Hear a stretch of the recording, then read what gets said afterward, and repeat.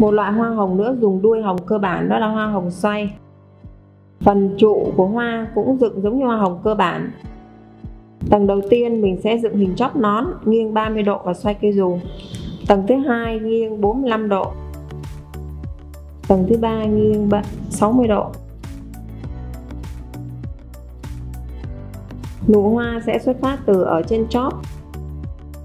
Trụ, bóp kem nhẹ đưa đuôi lên cao và xoay dù từ từ cuộn kem lại tạo thành một cái búp hoa ngắt phần chân ở dưới đầu trụ.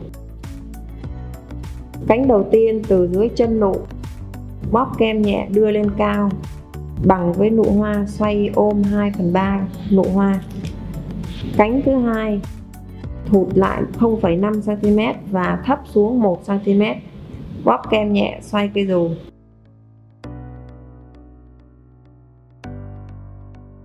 Đầu cánh lui lại bao nhiêu thì đuôi cánh mình sẽ tiến tới bấy nhiêu.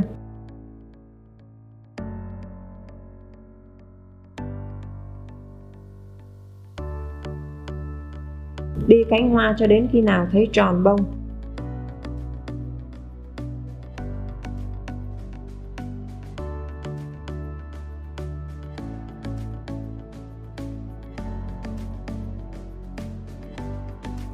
Gắp hoa ra khỏi cây dù, đưa mũi kéo vào giữa chân hoa, nâng nhẹ lên và xoay cây dù, rút ra.